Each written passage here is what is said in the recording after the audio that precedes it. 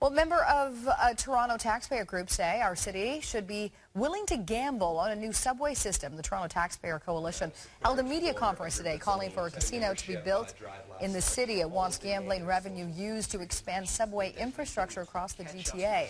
The coalition calls it a transit trifecta. It says casino money could raise 400 million for a new subway tunnel and a station each year.